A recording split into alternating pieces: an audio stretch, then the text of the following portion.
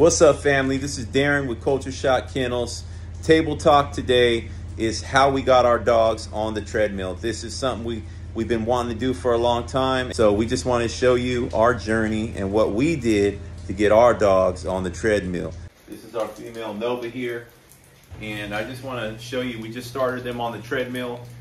Yesterday was their first day on the treadmill ever.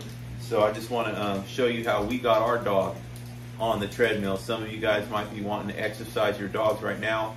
It's a stormy day. It's raining outside. I mean, it's been pouring since 3, 3 a.m. this morning. And what better way to exercise your dog than at home in the garage? And they get plenty of exercise. And so I just want to show you how we originally started. We just turned on the treadmill, got them to get familiar with it, the noise, the motion, and then we got treats. And uh, I'll go ahead and show you how we did that. Nova, come here, girl. Come here.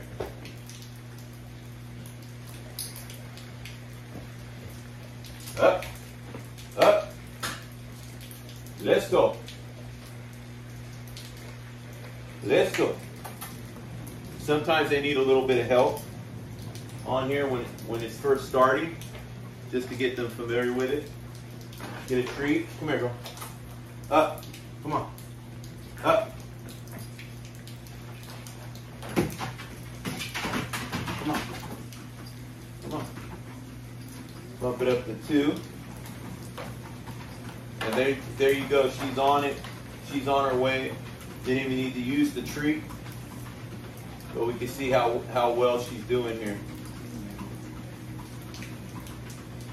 I hope this video was beneficial to you today. I want to thank you for taking the time to watch it. Please like the video, subscribe to our channel. We're new on here and we just want to share our journey. Culture Shock Kennels, Northern California. You can check us out, www.cultureshockkennels.com. God bless.